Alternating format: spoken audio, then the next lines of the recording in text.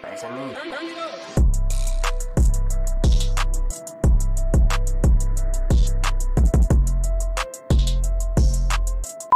Uses knife during insta-kill. Uses gun during insta-kill. Uses gun during nuke. All I'm saying is I'm on team uses gun during insta-kill. Sometimes you just don't got time to be messing around knifing zombies. That's all I'm saying. You gotta do what's efficient. Thinking about doing an egg? Doing an egg? I do not support what this meme is saying. This is false propaganda. That's all I'm saying. I like doing Easter eggs. Sc- screw, screw, screw you. Screw, screw you. Treyarch creating the best story you've ever seen for a side mode and hiding it under obtuse Easter eggs that 99% of players will never see. You know, that's honestly kind of a fair point, and probably the main reason why they made Easter eggs so simple in Cold War, because literally like 90% of players like never did the Easter eggs to begin with. And the fact that they were putting so many resources into it and the story as a whole, just for people to like never actually play it. Like I feel like most people who care about the Call of Duty zombie story would probably rather watch a YouTube video on it rather than going out of their way to find like little hidden radios or doing complicated Easter egg steps for themselves.